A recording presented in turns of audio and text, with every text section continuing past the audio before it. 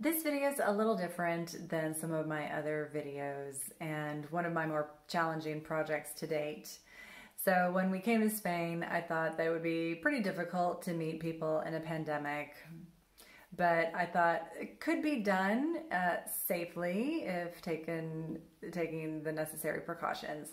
So um, I belong to a couple of Facebook groups and I identified somebody that I wanted to meet. He was a Colombian who has lived in Girona for six, uh, five years. And I'm just curious to know why people from other countries choose to live in Girona specifically. I reached out to him, he graciously accepted, and I thought that we'd just meet for a 30 minute coffee and I'd interview him, and that would be that he had different ideas.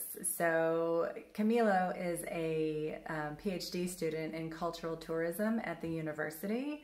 So he had uh, set up a like personalized tour for me. I couldn't believe it. And he is a wealth of knowledge uh, about Girona, and he is very, very passionate about Girona. He really loves living here.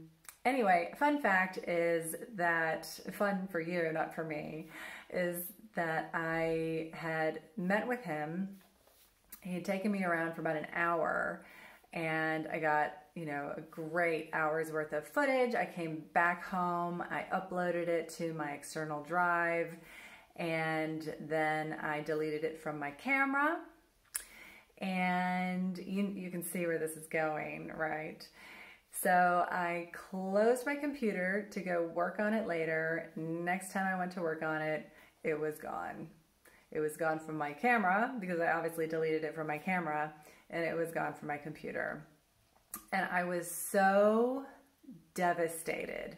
I was embarrassed. I was infuriated at technology and I I just didn't know what to do. So I told Camilo, didn't expect anything from him. I just told him and he's like, no problem, you know, we can do it again.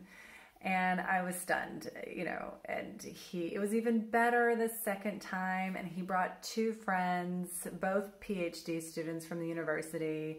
I was feeling like the real odd person out, but they were all really kind and so educated. And we had a wonderful time. And so I just wanted to share a little bit of his tour with you. I remember, yes, uh, speaking with some people in the, the countryside. They really didn't have any more um, objectives than to be happy, to grow their plants and, you know, to eat from them. And the beginning of the week, and it happened, no? Not now, because it, things have changed, but it happened that uh, on the Monday they will come as FARC, no, to ask for money. And on Tuesday they will come the army to ask for milk. And on Thursday they will come the paramilitaries to ask for the children, to train them. So there is just, you know, we, I can say, no, as a Colombian, we really don't, I don't feel like that violence belongs to me. But we were in the middle of that and I mean, learned how to, to forgive, to survive, to grow in despite of.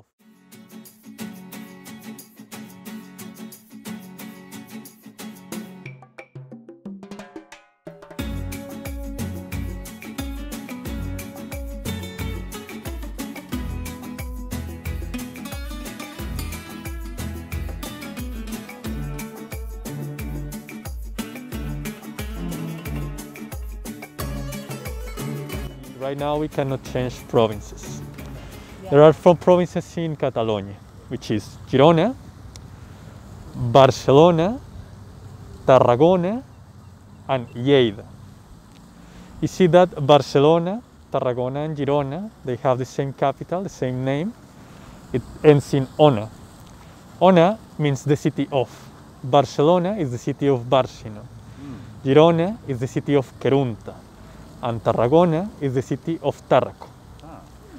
See, most of these cities, they were born when the Phoenicians came across the sea and they started to build like settlements um, around um, either ports or uh, rivers that uh, stream out into the sea.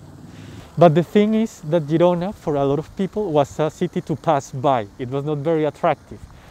you have Ampurias, no, in L'Escala, big, you know, fancy with a lot of merchants and spices and wine.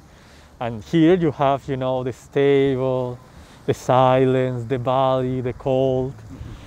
That is the strength of Girona.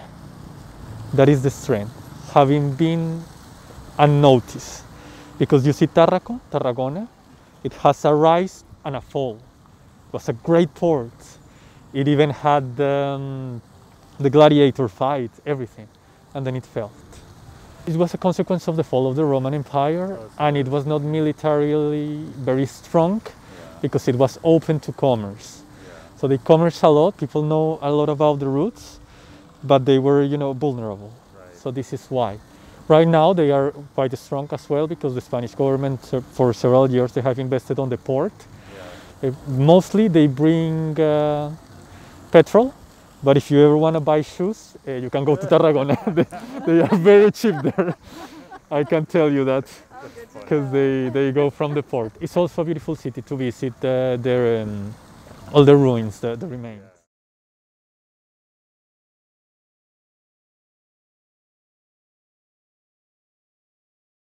There we have the Eiffel Bridge, which was uh, created by the company of Gustave Eiffel.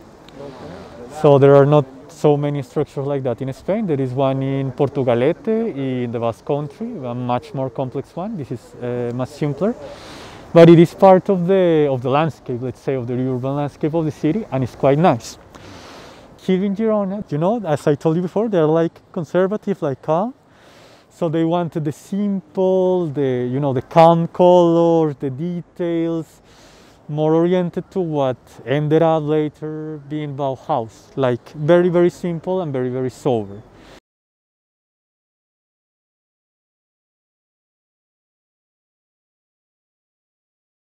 So this is why even if we have a monumental church and it's Baroque in style, it is not uh, very bright or very uh, colorful. It is, you know, calm. It is peaceful. So that's peaceful Girona.